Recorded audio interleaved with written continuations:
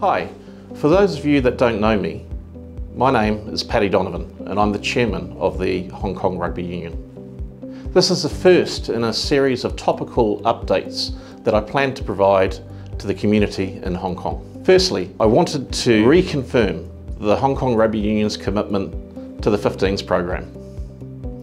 There's been a lot of change recently, as we all know, but we have been very pleased to secure the services of Simon Amor as the head coach of the 15s program through to the conclusion of the Asian Rugby Championship.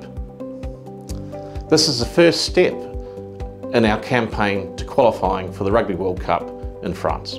Simon has recently been involved in the England setup with Eddie Jones.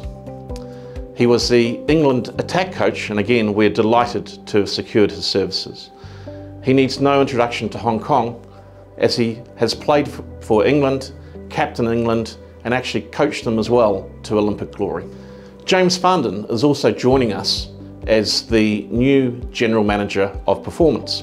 James has an excellent resume in high performance sport.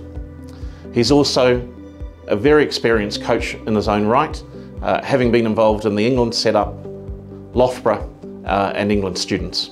James will be working with our 15s program, 7s program, men and women's, and we'll also be looking at our under 20s uh, academy and uh, international program. He'll work closely with the performance clubs and CCOs as well. I was personally delighted to see the calibre of people putting themselves forward for these top positions in Hong Kong rugby. It shows that we're still well regarded within the international community and we can secure the services of great individuals. We also have a number of new CCOs coming in to support the clubs and they're a strong and talented bunch. Now secondly, as you're all aware, the union has gone through some very tough and challenging times with the unrest and COVID. The board have re-looked at our strategic plan and we've decided that we want to double down on our homegrown talent and local development. There'll be more to come with announcements of academies and how our mini and youth programs will seamlessly interact and then lead through into senior rugby and ultimately for those kids to be playing for Hong Kong in the future.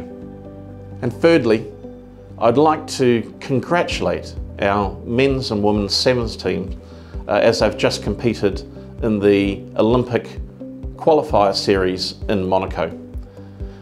They both performed extremely well. Unfortunately, the men lost to Ireland, the eventual uh, Olympic qualifiers, and our women's sevens team did incredibly well, competing against France in their final. Unfortunately, it wasn't to be, but ha they have learnt a lot from the experience and it stands us in great stead in the years ahead, and particularly next year when we look to qualify again and compete and gain medals I look forward to catching up shortly. We have a great program set up over summer for both boys and girls and our junior programs. We also have Introduction to Rugby for Adults.